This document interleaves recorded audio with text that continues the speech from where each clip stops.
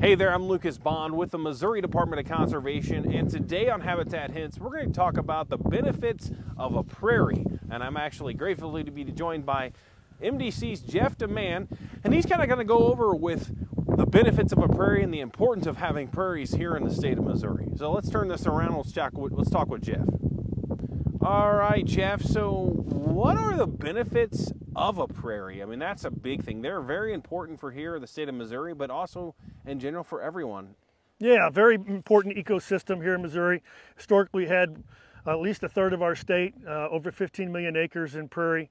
And the benefits are just tremendous to overall species and as far as habitat uh, for birds, mammals, bees, butterflies. They offer a lot of tall grass and a lot of wildflowers uh, for the seed source.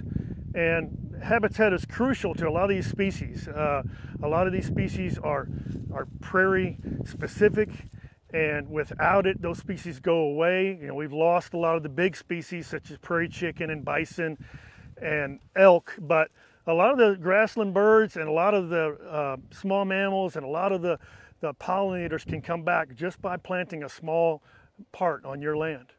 Now, you say just planting a small part, and this benefits, you know, this basically having a prairie helps the ecosystem, wildlife habitat, uh, the environment. So, where can people learn more about what they can plant and help maybe in their backyard or just an acre here or there? Yeah, so you want to plant native, uh, native Missouri species.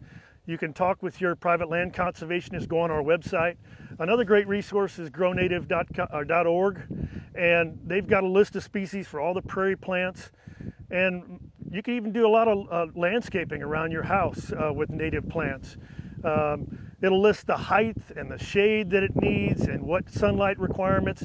And you can plant so many different species of wildflowers that are really different, great colors that will help out, like I said, all those different wildlife species. Really important.